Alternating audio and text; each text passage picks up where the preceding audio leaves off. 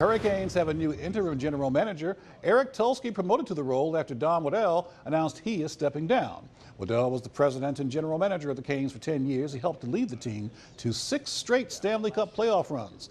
The search is now underway for a permanent GM during a potentially critical postseason. The Canes have nine key players who become free agents on July the 1st.